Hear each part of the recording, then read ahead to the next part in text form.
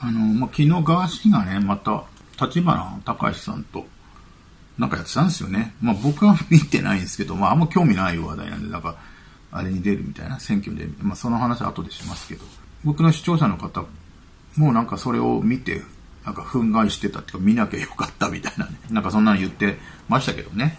もうガーシーがね、選挙に出て落ちようがなんでしょうが、あんまりね、興味ないですからね、ほほとんどの人はね。ただ、あの、ガーシーがほら、いろいろこう3ヶ月ぐらいガーシーやってて思ったのは、ガーシーが攻めてる人、ネタがあるので3人ぐらいしかいないわけですよね。マッケンと白田優さん、綾野剛さん。この3人だけですよね、結局はね。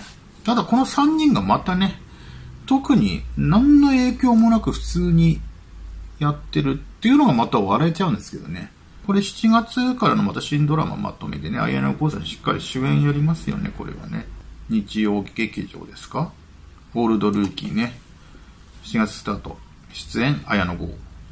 日本代表までを見つめた元プロサッカー選手の新町良太郎が、現役引退に直面する現実を描くヒューマンドラマ37歳の社会人デビューとなった新町を、現役アスリートの代理人やマネジメントを行うスポーツマネジメント会社ビクトリーで裏方として働く決意をする。で僕この7月スタートのドラマ？でちょっとまあ興味あるのがそのやっぱり同じ日曜日にやるやつ？復讐の未亡人っていうのがちょっと気になりますよね。これ漫画原作ですよね。出るのがの松本若菜さんですよ。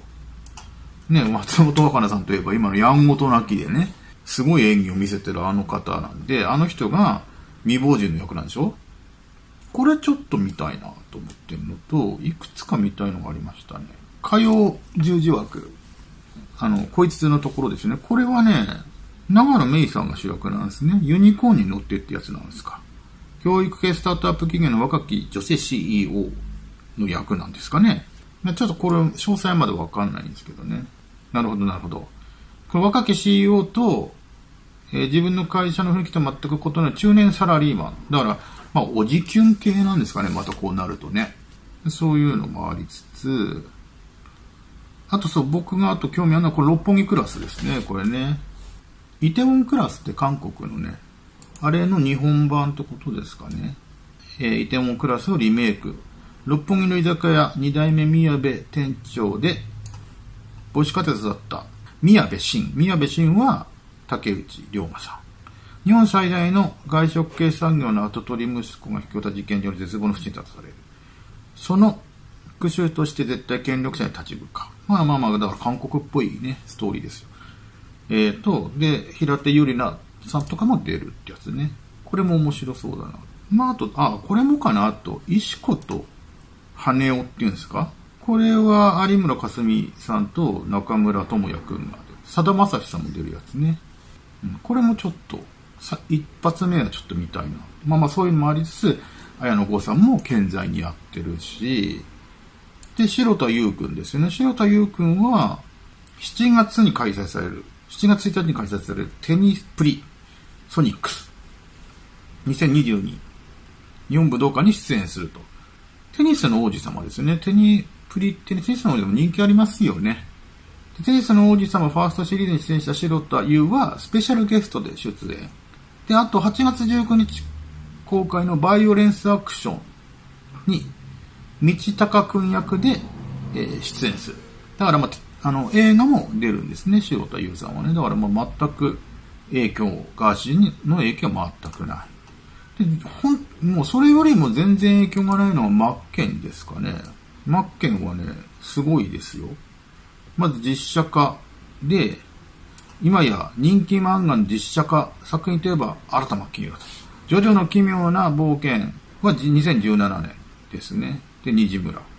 で、ルローニケンシン最終章では、絵西。で、セイント聖夜。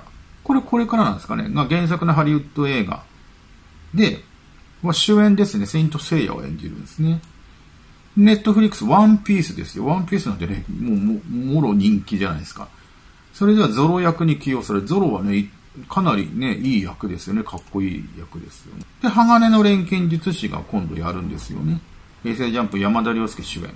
人気漫画を実写化した鋼の錬金術師では、原作でも人気のキャラクター、スカーを演じるってことです。で人気タイトル、総なめ状態。チャンスがあればいろんなことをやってみたいし、求められる期待、役割に応えたい。とにかくチャンスを無駄にしたくないという思いで頑張っています。えー、鋼の錬金術師を見て、えー、一作目を見て CG すごい、日本でもここまでできるんだ。これができるのは世界と戦えると希望を感じました。で、胸が高鳴ったことですね。ハリウッド映画にも参加参加して常に世界水準で戦っている新田真剣俳優部と他の部署のスタッフのコミュニケーションがものすごく大事だと思う。英語で on the same page っていうらしいですね。そういうのをね。みんなが共通して理解していくこと。ああ、なるほどね。同じページの上でってことですね。本とかのね。ページの同じ、だからみんなが同じページの上にいるってことですね。あイメージを共有していることが作品作りの上ですごく大事だという思っているというふうに語っていると。スカーを演じるにあたって、自分なりの正義があって、それを貫こうとする。そして自分の中にある芯がすごく強い。ただ悪いだけじゃなく、いかに魅力的に見せられるかを考えながら演じました。監督の現場で OK って言ってくれたら大丈夫だと思うことができたのは大きかったと思いますと。自信の根拠を覗かした。ね。自分なりの正義があってね。それを貫こうとする。まあ、ガーシーについてもね、貫いてますからね。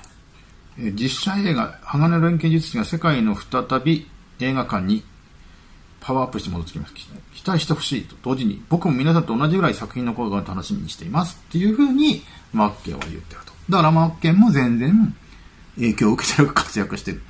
ってなるとね、なんかね、結局ガーシー法って何だったんだろうなと思いますね。全く何の影響もね、なかったっすね。本人はね、影響が、影響がある人間になりたいとか言ってますけど、結局影響がないですね。その前に早くね、逮捕された方がいいかなと僕は思ってますけどね。そんな感じです。